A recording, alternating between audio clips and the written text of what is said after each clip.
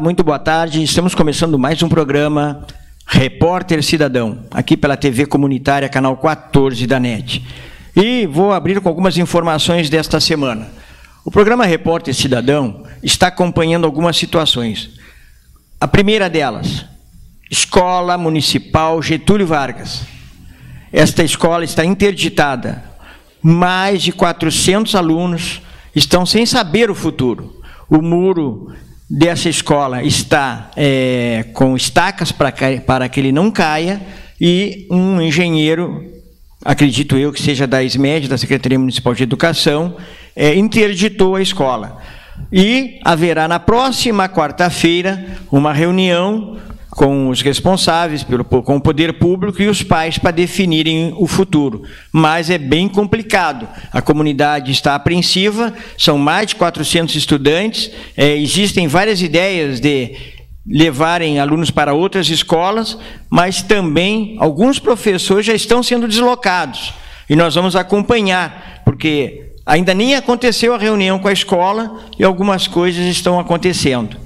Então, o programa Repórter Cidadão está já registrando hoje aqui a situação da Escola Municipal Getúlio Vargas no bairro Getúlio Vargas, ok? Então, nós vamos dar acompanhamento e vamos dar voz a quem não tem, a comunidade de Getúlio Vargas, que já é bem prejudicada. É um bairro que teve instalado um posto de saúde, aliás, perdão, um, uma creche que não foi concluída e ficou apenas o piso. É uma escola também organizada para funcionar cinco anos, ela está há 30 anos e nunca teve manutenção. É grave. Também temos uma denúncia de uma mãe que a filha sofreu ato de racismo dentro da escola. A escola se chama Saldanha da Gama, tem registro policial. Nós estamos também começando a acompanhar essa situação para trazer de público, porque a mãe está dizendo que a direção da escola, além de tirá-la do Facebook da escola, não quer tomar providência alguma. Né? Então, nós vamos juntar essas ações durante a semana e vamos estar mostrando para você, aqui na TVC, nas nossas plataformas, nas nossas redes sociais. Tá? Quero também registrar que tivemos participando de um evento Capacita 11, é, fizemos entrevistas com alguns deputados, Afonso Ram, deputado Marcos Vinícius, e no, no, transcorrer da semana, nas nossas plataformas, nós estaremos também e já estamos mostrando essas imagens, certo?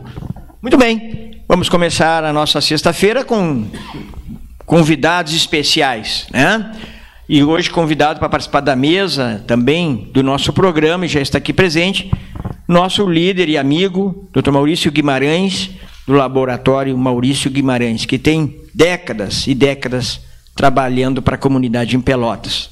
Também já está presente aqui o prefeito Rui Brizolara, prefeito de Morredondo, que está aqui para falar desse momento político, das expectativas, do que está conseguindo fazer na sua cidade como prefeito. Meu colega de bancada também, Isnar Correia, promotor público aposentado, né, sempre brilhantando o nosso programa, e nos bastidores, o nosso coordenador aqui da bancada, o cara que edita, que dirige o programa, Sérgio Moacir, o Sombra.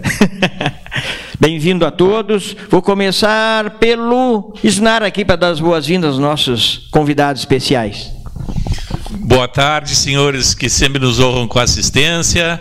Boa tarde, sejam bem-vindos nosso convidado, doutor Maurício, prefeito Rui Brizolara. E estamos aí, né, Flávio, mais uma sexta-feira, né? É, vamos abordar temas com certeza muito importantes do Morredondo, que a gente sabe que tem novidades lá, parece que tem uma reativação lá do, da atividade avícola, que já houve lá no município, muito importante, né? E, enfim, estamos aqui mais uma vez, né, Flávio? Sejam bem-vindos nossos convidados. Doutor Maurício, bem-vindo. Em primeiro lugar, uma boa tarde aos senhores que nos assistem neste programa de grande valor, porque de grande contribuição à sociedade de Pelotas. Nossa saudação ao doutor Isnar, nossa saudação ao prefeito de Redondo e o desejo de, de participar também no decorrer do processo, colocando algumas observações que, de acordo com a idade física e com a idade espiritual, eu me sinto no direito de fazê-lo. Portanto, uma boa tarde a todos. Muito bem. E a palavra é sua. Bem-vindo ao nosso programa Repórter Cidadão. É? E vamos saber um pouco de Morredondo. É, boa tarde a todos, telespectadores. É uma satisfação estar aqui conversando contigo, Flávio. Uma saudação. É, uma saudação ao doutor Maurício. É, dizia ele que não conhecia pessoalmente, mas de nome muito conhecido, né? É, por toda a sua história, toda a trajetória que, que tem o doutor Maurício. É, doutor Snar, que inclusive residiu, ou pelo menos tinha uma propriedade no Morredondo por algum tempo, é, cidadão que deu grande contribuição como promotor é, e, e, e, grande jurista que é, apesar que agora já está meio que deixando para o filho, né, tá, mas é, sem dúvida nenhuma que trouxe grande contribuição nessa questão jurídica e tantas outras né, que, que ocupou. É o terceiro, quarto, quinto mandato de prefeito? Nós, eu estou no quinto mandato de prefeito. Né? Tive um de vereador em, em 88 na emancipação, me elegi vereador, assumi em 89. Depois, é, no segundo já gestão, eu, eu fui candidato a vice, vice-prefeito de, de Morredondo. Depois, 97 foi quando eu assumi a primeira vez é, como prefeito. Depois, com reeleição. É, fiquei fora, é, não tão fora, porque fiquei de secretário, é, secretário de obras. voltando em 2009, com reeleição, fiquei até 2016 e voltei agora né, na, na última eleição, cumprindo agora o, o quinto mandato. Muito bem. Esse é o prefeito Rui Brizolar, uma história paralela à cidade de Morredondo.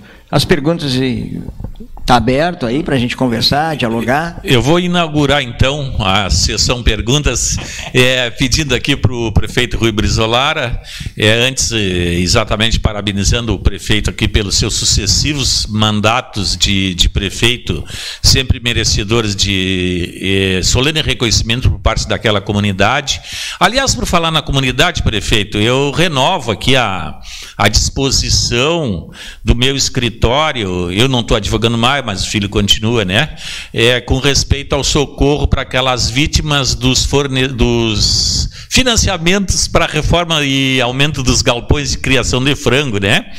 É, já existem bastante ações ajuizadas e tal, e, o, e a gente continua prestando orientação jurídica, né, prefeito? E, e com respeito justamente à atividade avícola no município, tem alguma novidade, prefeito Rui? Tem, continua estagnado, continua fechado lá o frigorífico da cooperativa Consulate? Tem alguma novidade? Não. É, na verdade, a, a, o abatedor em si, ele uh, acabou sendo, está sendo desmontado né, nos últimos tempos. Tem uma empresa de São Paulo que está retirando todos os equipamentos que foi vendidos, enfim.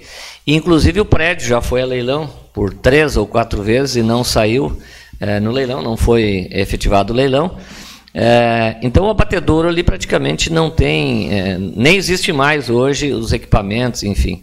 E como o senhor falou, na verdade, muitas pessoas ficaram com o problema é, não só pararam de produzir, que tava, tinha uma renda todo mês, não só tiveram esse prejuízo de parar de, de, de vender os seus frangos, de criar para a cooperativa, como também ficaram com aquela dívida que o senhor sabe, eu, eu levei algumas pessoas, né, fizemos reunião em Morredondo, porque a preocupação era exatamente essa com essas pessoas que tinham uma dívida, muitos tinham terra penhorada, o senhor inclusive conseguiu reverter alguma situação? Todos, todos estão com as terras penhoradas. É, e, e o senhor tem conseguido, pelo menos alguns casos que eu conheço, depois não falei mais com o senhor, mas que se conseguiu reverter. As pessoas tinham um pedacinho de terra para produzir e ainda estavam é, com possibilidade de perder a, a, sua propriedade, não por incompetência deles, como o senhor bem é, é, é frisava e entrava nessa questão, que foi um, um, um, não foi a pessoa que gerou aquilo, na verdade, ele tem um contrato por tantos anos para fornecer o frango, só poderia fornecer para a cooperativa e ele teve que simplesmente parar de produzir. Então foi um, problema sério.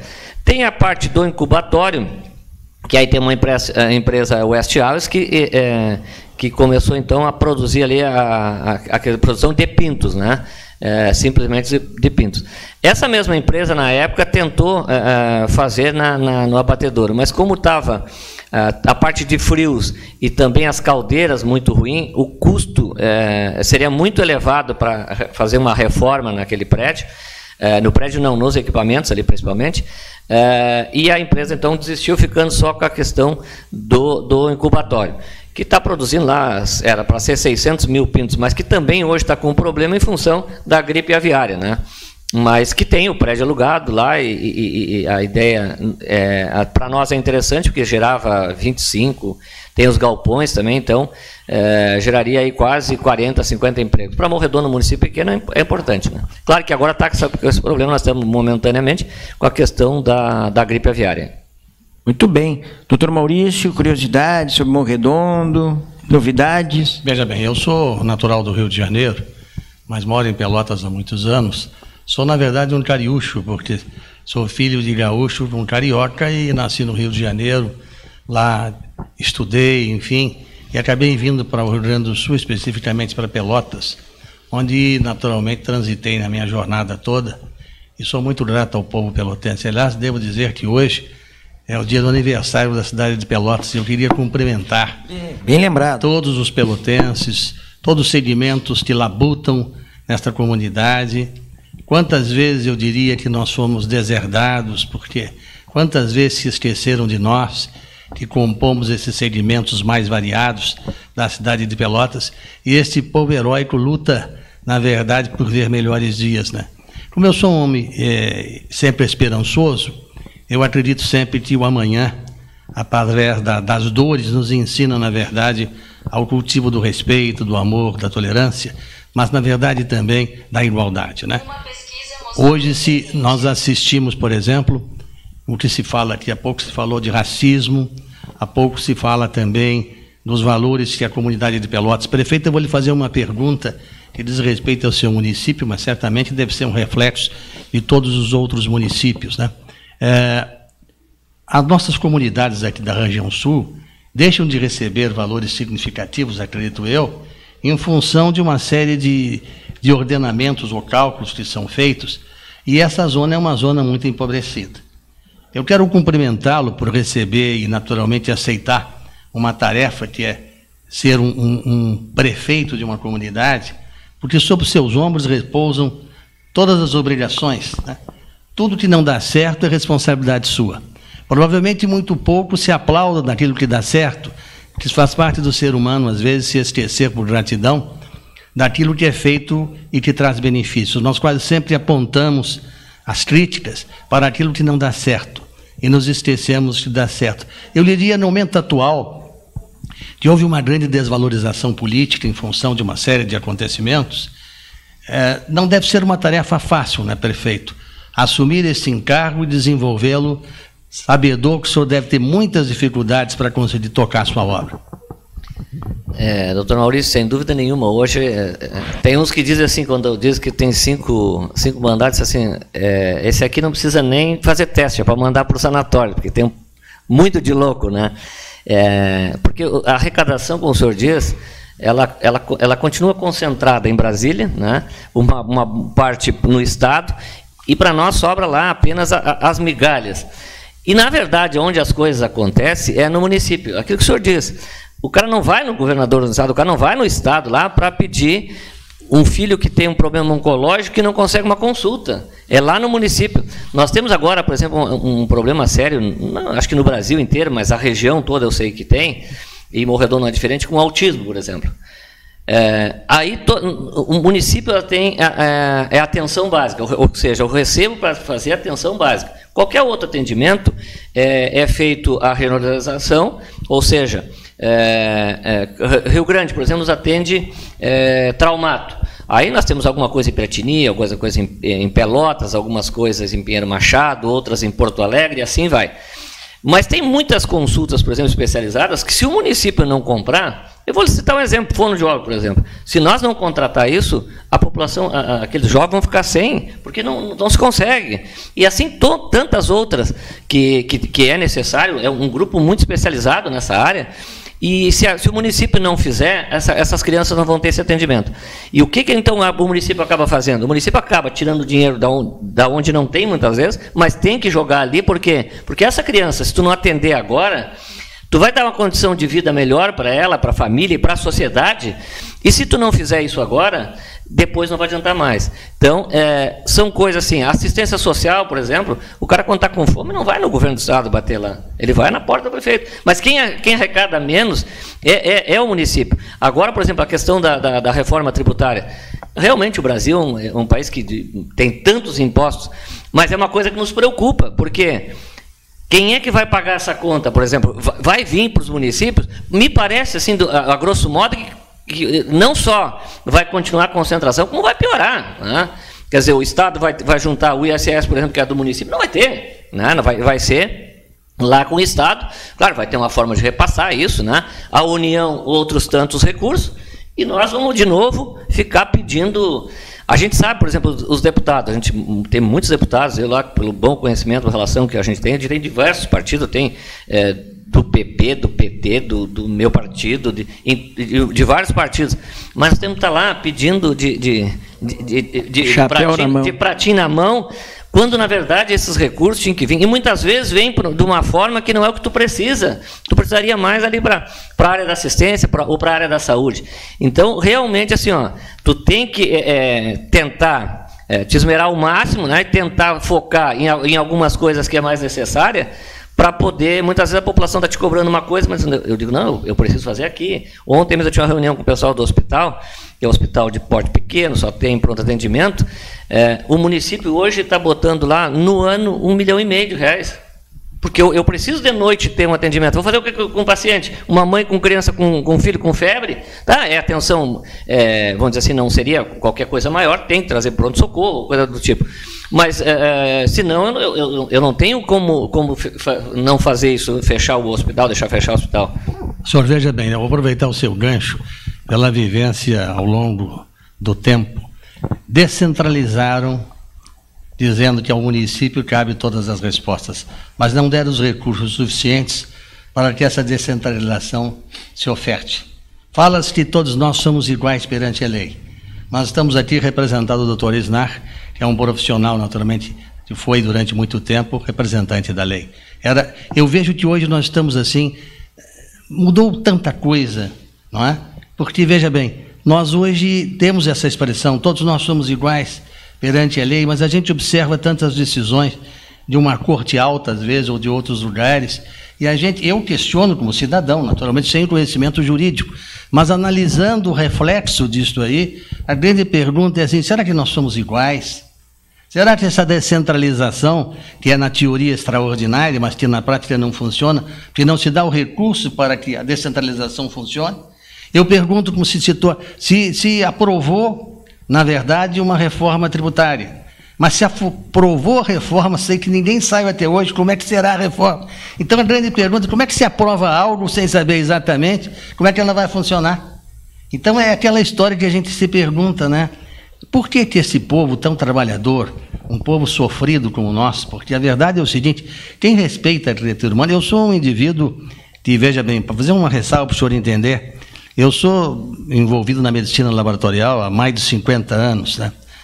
52 anos dedicado à pesquisa, à análise, à doença, ao doente, né? ao velho, ao desamparado, aquele que precisa de amparo, aquele que está na rua tirado, justamente pela convicção minha espiritual de que nós temos uma vida que prossegue, e que, evidentemente, deveremos responder por tudo aquilo que fizermos. E hoje alguém está em melhor posição do que outra, mas amanhã a coisa inverterá. Mas o que eu estou querendo dizer, fundamentalmente, é assim: esse é um país de gente trabalhadora, que levanta de manhã cedo para trabalhar, faz um sacrifício elástico, que eu não sei como é que consegue fazer, para conseguir sobreviver. É antes, antes investido, o que se diz é assim: vai aumentar o imposto mas não aumenta o salário, mas não aumenta o benefício, nós não temos saúde, nós não temos educação, nós não temos uh, segurança. E eu pergunto, o que é que nós temos, prefeito? E a gente tem visto essas coisas, e entra governo, sai governo, não é falar governo A, governo B. É, é, se cria é, cada vez mais vantagens ou benefícios, não que eu seja contra isso, mas não se preocupa em gerar emprego. Quer dizer, é, nós, nós tínhamos que se preocupar mais com isso, ou seja, em vez de dar para as pessoas, é, é, é, oportunizar que as pessoas tenham o, o, o emprego, né? Porque sobreviver é, é, fazer malabarismo, né? Fazer, tu conseguir com um salário mínimo muitas vezes, conseguir manter uma família, né? É, é, quase que impossível, né? Não sei como é que as pessoas conseguem fazer isso. E a, e a gente vê essa questão, nós, nós comentava a, a centralização, o Pacto Federativo é passa por cima, né? Agora, por exemplo, tem essa questão dos enfermeiros, e sem, e sem é, falar em, em, questão de, é, de mérito, tanto eu acho justo que os meus técnicos de enfermagem, o enfermeiro eu pagava o valor já do coisa. E, o, e os, os, técnicos de enfermagem meu era, era um valor absurdo, recebiam muito pouco. E eu, assim que, que aprovar lá, eu, eu acabei dando é, para eles. Mas o que eu quero dizer é o seguinte: eles criam lá, mas quem tem que cumprir é o município. Né? É muito fácil isso. E fizeram no momento político, né? na verdade é isso. Né? E, veja, e veja bem, prefeito, veja bem. Isso aí toca num assunto muito importante. Nós temos a, ninguém discute a validade do, do reconhecimento, mas é preciso que haja valores para conseguir pagar isso aí. Porque numa hora para outra fizeram um aumento considerável. E aí o que está acontecendo hoje, pelo que a gente sabe no Congresso Nacional? As demais categorias estão querendo também que seja reconhecido. E eu lhe pergunto, todas são também importantes, o médico é importante, o fisioterapeuta é importante, o nutricionista, enfim, nós não, o farmacêutico, nós não temos condições, porque vivemos num país que centraliza os seus recursos, para reconhecer, inclusive, tudo isso que é, que é, válido, é meritório, ninguém é contra, mas é preciso que se saiba de onde se vai tirar. Alguém então, tem que pagar essa conta, né? Vou dar um exemplo, doutor Maurício. Dos 400 e poucos municípios que temos no estado do Rio Grande do Sul, hoje, segundo estatísticas, tá? Hoje somente, somente, tá? Oito teriam condições de arcar com esse custo do piso nacional da educação e o piso nacional do magistério. Não se está discutindo o mérito de merecimento, que são merecidos. Mas por que não foi escalonado? Subdividido? Esse recurso. O município hoje tem condições de arcar? É, na verdade, o Pacto Federativo, é, me parece, me parece não, eu tenho certeza disso. O que diz a legislação? O, o governo federal não pode intervir no governo municipal. Ah, bom, o cidadão não quer ficar trabalhando no município de Morredondo, ele vai trabalhar em Pelotas, que está pagando melhor, ou vice-versa, né? Agora, eh, isso é uma interferência direta no município, que quem sabe o que pode pagar é. E, e eu estou dizendo assim: é, eu pago o piso da Morredondo, pago o piso do magistério e pagamos o piso hoje do enfermeiro do técnico de enfermagem. O técnico de enfermagem nós não pagava em novembro do ano passado, é, assim que passou a lei lá, eu criei, porque nós pagava 1.600 para um técnico de enfermagem. É, o, o, o, agente de saúde passou a ganhar 2,600. Quer dizer, é, não tem cabimento, não, não querendo comparar o, o, que tem a comparação, mas um técnico que fica ali fazendo todo o procedimento que o senhor sabe, né, o senhor que é da área, é, e o agente de saúde, com todo respeito, mas não, não tem aquela a, a responsabilidade que tem um técnico de enfermagem, eu, toda aquela. Eu quero interromper só para agradecer os telespectadores que estão mandando mensagem, entre eles, Verene Sampaio, obrigado, compartilha aí. Rosa Borges, obrigado, compartilha, obrigado por assistirem, a todos vocês que também estarão nas redes sociais nesse momento acompanhando nossas plataformas e o telespectador. É, com o andar do bate-papo, as perguntas e o diálogo avançou. Eu queria ter perguntado, ainda quero, para cada um, é, na sua opinião, o impacto dessa reforma arbitrária, eu até diria, na minha modesta opinião. Eu diria em dois minutos para cada um. O, o, Rui Brizolara, nosso prefeito, já adiantou um pouco, vai ter muito mais para falar, mas eu queria ouvir o impacto, na tua opinião, da reforma tributária. Deixa em dois só. minutos. Tá. Depois quero ouvir o Isnar no campo, na área dele, e vou repetir de novo, para que o prefeito fale um pouco mais sobre essa reforma eu, tributária. Eu só quero fazer um adendo em relação ao peso da enfermagem. O nosso convívio com os profissionais da saúde durante 50 anos é muito intenso. Então, nós trabalhamos sempre junto com o sindicato laboral, porque nós reconhecemos a força de todos. O ato médico não é feito exclusivamente pelo médico, ele é feito por todos os profissionais. O enfermeiro tem um destaque importante, o técnico de enfermagem, o auxiliar, todos, até mesmo aquele que abre a porta num hospital, é fundamental. Porque se assim não existir alguém, não é possível o funcionamento global. Então, nós temos o sentido do respeito e trabalhamos e trabalharemos sempre para as composições possíveis. O que nós queremos dizer é que, às vezes, ocorrem as coisas muito rapidamente, sem a, a devida condição, só isto. Né? A fonte?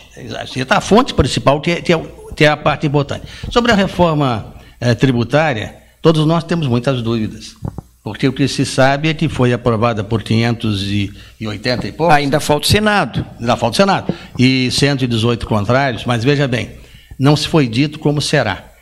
Alguém disse que ah, o setor agropecuário, a educação e a saúde teria uma diminuição de um percentual, porque, na verdade, é impossível fazer com que aqueles que pagam, tem uma grande parte do setor público que não paga, mas aqueles que são privados pagam, possam arcar no momento em que, por exemplo, a tabela do SUS, só para ter um referencial, vai fazer 30 anos que não tem nenhum tipo de reajuste. O IP, por sua ordem, em determinados segmentos, faz mais de 8 a 10 anos. As, as entidades privadas, aproveitando-se disso tudo, também não, não fornecem um aumento, dizendo que seus custos são maiores. Ou seja, todo mundo se afasta da realidade da discussão de um problema que é, portanto, um problema de grande importância. Então, eu entendo que quem é que não gostaria, como disse o prefeito Brizolara, de que tantos impostos centralizasse num agregado que é um imposto só. Mas é preciso saber, na verdade, o que isso representa, o que significa a fatia de tudo isto. E eu pergunto para os senhores: algum dos senhores sabe? Eu não sei. Tentei descobrir, mas não consegui saber. É difícil. Eu, eu, eu Vou passar para os dois minutos da tua opinião sobre reforma tributária, doutor Isnar. Agora, então eu, ia, eu já ia me adiantar aqui, ia tomar a vez aqui do, do prefeito e ia, ia responder o doutor Maurício, que eu, eu, eu não sou tributarista, não gosto de direito tributário, sei bem pouco. E, mas eu assisti uma, uma entrevista de um tributarista na, na Jovem Pan, dia desse pela manhã, essa semana, acho que segunda ou terça-feira, onde ele falava justamente do perigo que representa esse o IVA esse aí, né? O imposto único, né? Porque o projeto que tem, gente, ele já não ressalva a reincidência. Então, ah, mas é um imposto só. Tudo bem, é um imposto só. Tá, mas aí ele vai incidindo a cada fase da cadeia de produção, isso vai virar um quase 100% de imposto. E, e qual é a consequência mais grave de tudo isso? É que isso, o grande dano é sempre nas rendas menores. Por que, que isso acontece? Porque assim, ó, se eu aqui sou um diretor de uma multinacional, ganho 100 mil por mês, vai ter ali um, uma tributação no somatório geral de todas essas incidências e reincidências, digamos de 40% vai ser o impacto. Eu ainda fico com 60 mil reais, dá para eu viver muito bem. Agora, se eu ganho 1.200, gente, que é o salário mínimo aí, né? 1.200 e pouquinho, eu acho, né? Bom, é, 1.300, tá. Mas que, se, que fosse 2 mil, né? Aí incide lá o, os 40% esse em média, que vai, que vai ser o, a, o desforço que esse, essa reforma vai, vai exigir do cidadão. Então ele vai ficar, digamos que ele ganhasse 2 mil, ele vai ficar com 1.200 reais, né? porque tirou 40%, 800 reais de 2 mil. Né? Então olha o tamanho do impacto disso. Né? Então, então, então, essa reforma, do jeito que está, é, essa, essa foi a alegação desse tributarista que deu essa entrevista, que eu achei muito elucidativa, é o, é o extremo dano que vai causar nas rendas menores. Quanto menor a renda do cidadão, mais grave vai ser o efeito deletério, o efeito negativo dessa reforma, que aí está, se passar e se, se for realmente implantada. Antes de passar para o nosso prefeito, Rui Brizolara, eu queria também dizer o seguinte: é, o Congresso aprovou ontem e o líder do governo disse que foi uma vitória estrondosa. Mas há quem diga o contrário, não é estrondosa, pelos valores e milhões e milhões de reais que o governo liberou para essa votação, é até pouco voto, se a gente for considerar. Porque mais de 100 deputados votaram contra. Mas dizem que no Senado pode ser diferente. Eu não sei o que pode ser diferente, se é mais recurso que vai ser liberado, ou se o Senado vai pensar diferente. Fica aqui uma dúvida, né? Porque lá na Venezuela, quando isso começou a acontecer, atingiu a classe média e alta e foi um esvaziamento de empresários que tiveram que ir embora da Venezuela. Alguns até voltaram, porque negociaram e passaram a apoiar o governo. Aí eu vou citar como exemplo alguns canais de TV da Venezuela. Retornaram, mas retornaram com um olhar diferente, né, dentro do governo. E Será que aqui no Brasil se caminha para isso? Porque o cidadão comum, o povo, não está sabendo bem o que, que é, o que significa essa reforma tributária. Ele vai saber quando bater na sua porta. Eu, na minha opinião, modesta opinião, não atinge a classe média, atinge a todos os brasileiros. E eu acho que isso vai acabar acontecendo, as pessoas se dando por conta daqui a alguns dois, três, quatro meses. Né? E claro, reforçando aqui, eu penso como pensa o prefeito, é, o prefeito é o, é o síndico da cidade. É, é interca ele que intercala com a sociedade, com a comunidade, seu município. E aí a gente vem aí, ao contrário do que o governo anterior fazia, uma política mais voltada para os municípios, para os estados, menos Brasília, e de repente vem essa mudança toda, que não é mudança de governo, na verdade, eu acho até que é mudança de estado. Mais Brasília, menos municípios. Justamente aqueles que têm o maior impacto né, das dificuldades da, e dos anseios da comunidade. Eu quero te dar um tempo para falar ainda mais um pouquinho sobre reforma. É, é, bom, na verdade, como diz o doutor Mário, é, Maurício, é, na, não se sabe, não se sabe, é, se sabe muito pouco do que, que, representa. Eu acho que tem gente que está votando e não sabe. Né? Porque quanto vai ser o imposto? Não criaram ainda. Como é que sabe se vai ser suficiente ou não? Não, mas ainda tem, pior aqui, vou interromper um pouquinho, nessa legislação prevê que o Supremo Tribunal Federal pode intervir a qualquer momento e mudar valores. É. Tem uma cláusula lá dentro dessa mudança que o Supremo Tribunal Federal pode legislar. Então, na, ver, na verdade, o, o, Flávio, me parece que nós estamos dando um tiro no escuro. Pelo menos assim, ó. Claro, se diz que discute esse, esse projeto há 19 anos, não sei o quê. Mas, ao fundo, a população, eu, eu desconheço. Olha, estou há tempo na, na, vida pública aí, não... não, não... Mas, o, mas o prefeito, Brizolara, veja bem. E, e esse Congresso não discutiu. Não, esse é, Congresso se tem seis meses. há 19 anos, por que a pressa, de repente, de resolver assim rapidamente? Pois é. É, é uma e... pergunta que eu faço para mim. Porque esse Congresso não discutiu. Esse Congresso tem quantos meses, na? Ué, seis meses, né? Seis, seis meses. meses, né? São novos Assumiram deputados, em janeiro, né? novos senadores. Não dá para incluir nos 19 anos de Não, debate. e a minha indagação é, é, discute há 19 anos, tá, mas é o projeto original, porque agora tem não sei quantas emendas lá, gente. Eu nem sei nem dizer o número. É, não, olha, é, a coisa é bem. É isso que nos preocupa, nós, enquanto prefeito. É, o que, vai chegar para nós? Porque todas as reformas ou alterações que fazem no governo, ela acaba tendo reflexo negativo sempre para o município. É difícil quando o município diz, bom, agora vem um recurso a mais que nós vamos poder administrar. Não, quando faz alguma alteração, pode saber que vai sobrar para o município. E agora essa é a preocupação que se tem. A, a Confederação Nacional do Município saiu a favor, né? diz que, que não, que é bom e tal. Já a outra federação dos prefeitos que não, que, que é ruim, que não sei o que tem.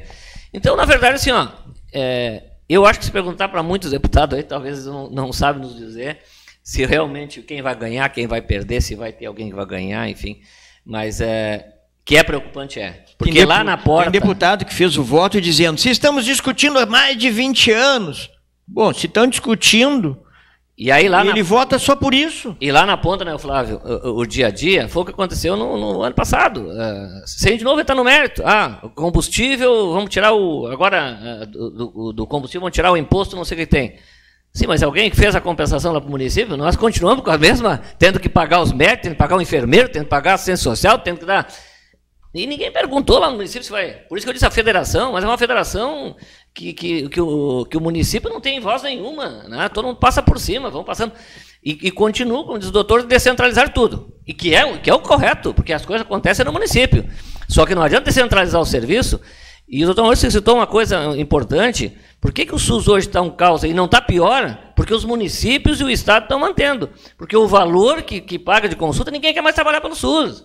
Vai pegar, eu nem sei o que está, doutor, mas uma consulta médica deve estar o quê? 10 reais hoje? Quem é que vai trabalhar por esse valor? Então, essas coisas assim. E agora, essa alteração na, na, na, na legislação, essa é a preocupação que traz para a gente. Vai vir uma coisa para os municípios, os municípios suportar a coisa? Ou mais uma vez. E parece que a concentração, eu não tenho dúvida disso, que mais uma vez o governo assim, não, o dinheiro é meu, depois eu vou ver o que vou dar para vocês, mais ou menos nesse sentido. Pode ser eu estar equivocado, como nós falamos, não se tem clareza do que, que é. Não, veja bem, o referencial que estão citando aqui como a Venezuela é o pior referencial possível que você pode analisar. Né? Porque é só analisar o caos da Venezuela. Né? A dificuldade para comer, para utilizar até um rolo de papel higiênico. Temos que falar, de repente, com uma certa forma abrupta para mostrar a gravidade do tema, a gravidade do problema. Nós temos que ter valores e temos que ter comparações que são merecedoras de crédito. Não pegarmos um, um, uma, um, uma, um, um, país que não respeita nem o seu próprio cidadão. Né? Porque nós, nós não podemos caminhar, nós temos que ter. Aliás, aqui cabe um adendo. Voltei ao aspecto se somos todos nós iguais. Porque se todos nós iguais, todos nós temos direito a falar, principalmente. Né? Eu acho que nós não podemos perder o direito de falar. O dia que nós perdemos o direito de explanar a nossa posição, nós estamos escravizados. Mas e... o presidente falou: a Venezuela tem uma democracia relativa não é? E isso preocupa todo mundo. Né? Nós usamos um parâmetro aqui, mas olha, lá não deve ter saúde, não deve ter assistência social, não tem nada do que a gente está discutindo aqui. Mas pode ficar pior. Essa semana nós tivemos a cúpula da América Latina reunida, onde o Uruguai, presidente do Uruguai, presidente do Paraguai, rechaçaram a participação da Venezuela no Mercosul. Por quê? Porque lá não tem respeito à cidadania. Mas o presidente Lula, que nesse momento vai presidir a cúpula do Mercosul por seis meses, vai com um objetivo muito claro: trazer o companheiro Maduro, trazer a Venezuela para o Mercosul para desfrutar de economia, de democracia, quando no seu país não respeita o cidadão. Tornou inelegível a candidata que poderia vencer as eleições com uma grande margem de votos tornou inelegível por 15 anos. Olha que situação. E o Senado brasileiro vai recebê-la no Senado, a candidata à presidência da Venezuela. Agora, aí, aí entra um detalhe, um paradoxo, né? veja bem. Eles vão receber uma presidente caçada, com seus direitos políticos, uma candidata com seus direitos políticos caçada, mas não quis discutir a cassação de deputados federais eleitos no Brasil tem um caso, Dallagnol, mas isso o Senado não discutiu. É muito estranho, a política está muito estranha. Doutor Maurício, uh, aproveitando seu gancho, tá, que se nós não tivermos direito à palavra, seremos escravizados. Uh, como é que explicar para aquela pessoa que não está atenta à situação que o país está enfrentando, o senhor, como empresário local, Rui Brizolara, meu prefeito querido, de muitos anos, um gestor público, como é que se explica uma aprovação relâmpago do projeto tributário, aonde, faltando cinco minutos para iniciar a votação, foram apresentada um relatório de 80 páginas, e assim mesmo foi votado e aprovado? Eu, eu vou fazer uma colocação fruto da observação. É uma observação criteriosa, porque é análise de determinados parâmetros. Todos os senhores sabem que existe uma chamada nova ordem mundial. Essa nova ordem mundial é uma ordem constituída pelas grandes potências, com o intuito de dominar sempre as menores potências. Ou seja, manter sob domínio, sob o interesse econômico e sob o interesse cultural. Elas dominam as mídias, elas dominam os bancos, dominam a assistência farmacêutica. É, é o poder do dinheiro, que sem sombra de dúvidas é necessário para se criar e para se poder fazer com que as coisas aconteçam.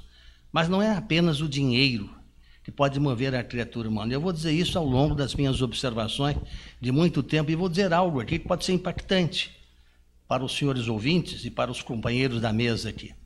Eu sou um indivíduo que lido na medicina laboratorial. Eu deveria ser, segundo alguns, um agnóstico, alguém que não acredita na presença divina. Pois eu vou dizer exatamente o contrário. Eu não só descobri como confirmei a presença divina em todos os aspectos denominados biológicos do ser humano. E principalmente sempre me perguntei se o fenômeno biológico da morte poderia ser o fim de alguma coisa. Se assim fosse, não valeria a pena viver. Porque não, não teríamos como entender as diferenças sociais, as diferenças genéticas. Porque alguém nasce com a síndrome de Down, eu sou um, um avô de um, de, um, de um neto com síndrome de Down. Porque um é autista, Por que tinha um nasce sem membros superiores ou sem membros inferiores? Por que tinha um nasce, inclusive, como eu vi em São Paulo, cego, surdo, sem dois braços, sem duas pernas, encostada num viaduto à espera da misericórdia dos seres que ali passavam. E alguns que ali passavam roubavam, inclusive, as poucas moedas que eram depositadas durante o dia. Que poder divino seria este que é capaz de massacrar a criatura, preferindo umas em favor das outras? Então eu fui procurar o entendimento, não só filosófico, mas o conteúdo que pudesse explicar as misérias humanas. E o que nós estamos assistindo hoje é um fim de um ciclo que, não tenha dúvida, está ocorrendo. É um ciclo doloroso onde se invertem todos os valores, onde a sociedade parece não reconhecer os valores nobres. O interesse do dinheiro parece ser mais importante do que tudo. E eu faço a seguinte pergunta: alguém já levou o dinheiro além das fronteiras da morte?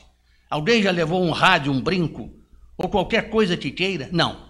Nós precisamos entender que só uma maneira construtiva de gerar uma coletividade de peixe eficaz, participativa, através do respeito, através da constituição dos valores mais nobres da criatura humana, que é o direito à vida. E mais do que direito à vida, se é o direito à vida, a tudo aquilo que a vida encerra. Ser o direito à saúde, ser ter o direito à educação, ter o direito à igualdade e, acima de tudo, a prioridade de reconhecer que a vida não é um instante só. É um momento transitório de um estágio para outro estágio.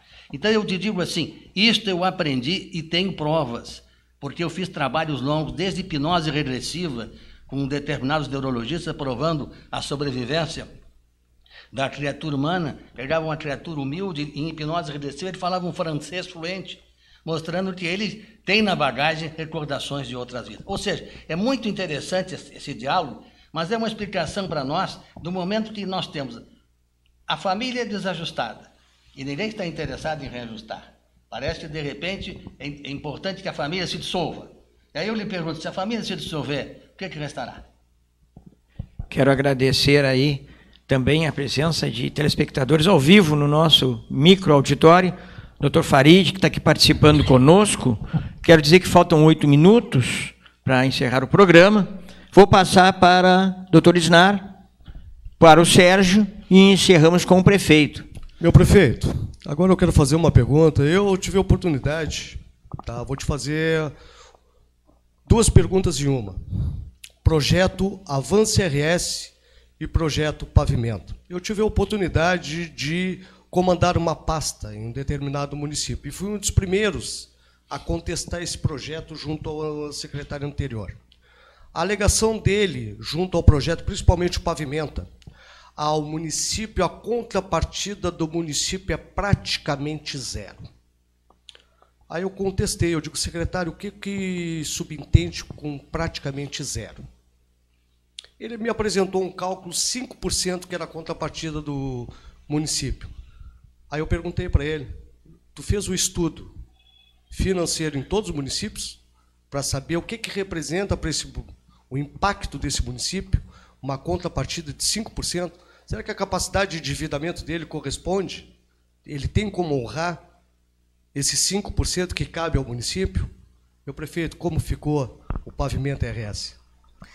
É, Moacir, só te respondendo, assim, na verdade o pavimento era 30%, aliás, todo o avançar, que de certa forma é, é, é, é um valor é, percentual alto, mas não deixa de ser importante, porque eu acho que se o município, claro, tem muitos municípios talvez não teriam condições. A contrapartida. A contrapartida. A contrapartida é de quanto?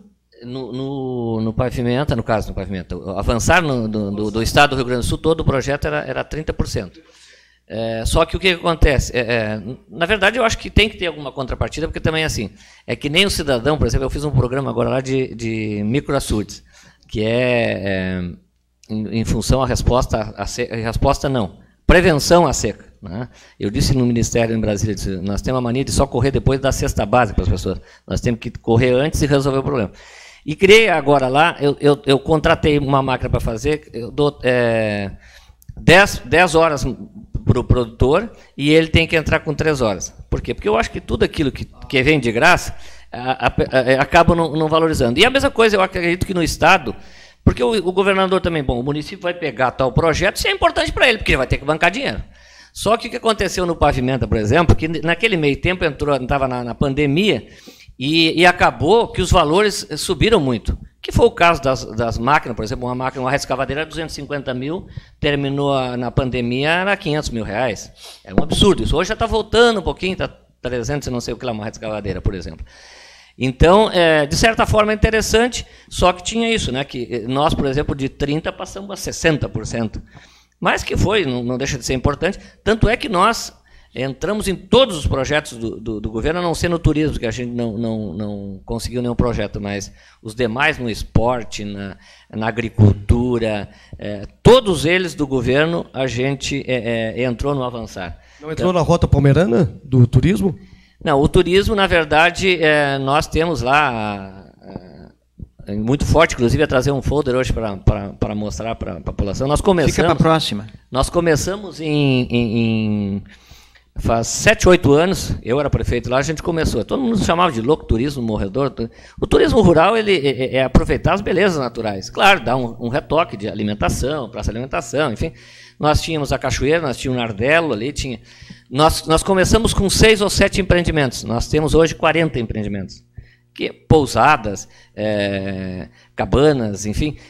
E tudo lotado, né? Nós temos uma ali que, que abriu ali, que é uma, não sei se vocês já puderam ver, que é ela, ela tem uma com banheira, com vidro e tal. É, é, e aquilo ali ele, lançou num dia ah, durante acho que um mês ele fechou para quase um ano. Hoje tu tem que agendar com muita antecedência.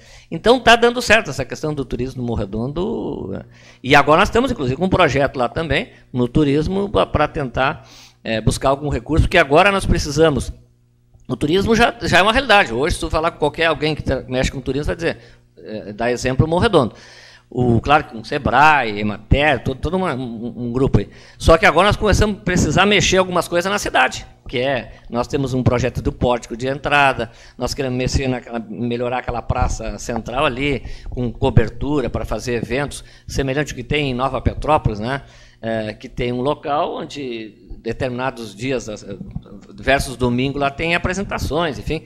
É, nós temos várias festas que são feitas, que, que, o próprio roteiro turístico faz, que é, que é do doce, que é agora em, em outubro ali a questão da, da, das flores, e, e, e, são vários eventos que são feitos, além da festa do município, que também se inclui nessa, nessa questão turística aí.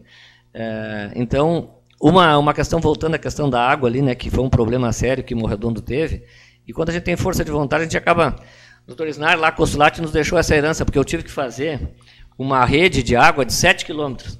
Na época custava um milhão de reais. Para um município pequeno que nem o nosso, é, realmente era muito dinheiro. E a gente conseguiu, eu na época consegui fazer a tal da rede. A Consulate usou acho que dois anos e, e quebrou a Consulate. Porque o projeto da água era porque eles iam ampliar, não era é, é, ampliação. E nós conseguimos fazer essa rede, e essa rede estava lá ociosa. Aí em 2016 foi quando fechou o consulado, eu terminou meu mandato, ficou quatro anos parada essa rede. Inclusive tive respondendo um promotor lá, porque dizia que a rede estava tirada, que eu tinha gastado um monte de dinheiro. Essa é a vida do prefeito, né? O doutor né? E mas aí eu comecei a insistir com a Corsã. A Corsã todo ano busca água de caminhão. Esse ano, por exemplo, custou quatro meses criando água. Só num mês gastou 400 mil reais. Eu digo, vocês puxam dois quilômetros e vocês resolvem o problema de vocês. Isso foi feito em dez dias.